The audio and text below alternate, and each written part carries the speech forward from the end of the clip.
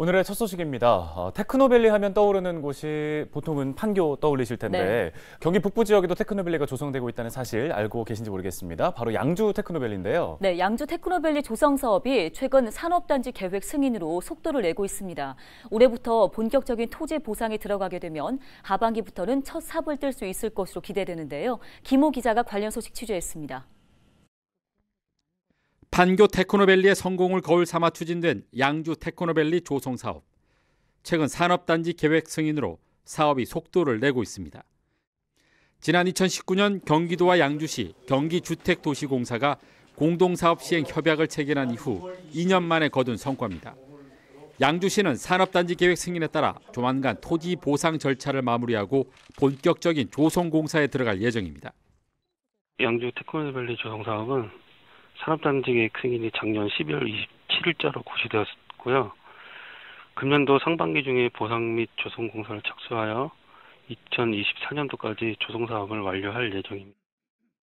양주 테크노밸리는 남방동과 마전동 일대 21만 8천 제곱미터 부지에 조성됩니다.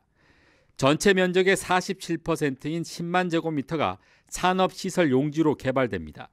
또 산업시설 용지의 31%, 전체 면적의 14%는 지식 문화와 정보통신 등 첨단 산업 연구개발 부지가 조성됩니다. 이 같은 R&D 인프라를 통해 전통 제조업을 고도화하고 디자인과 IT 융합을 통한 스마트 생활 소비재 산업이 육성될 예정입니다. 현재 양주 테크노밸리에 입주 의향을 밝힌 업체는 140여 개에 이릅니다.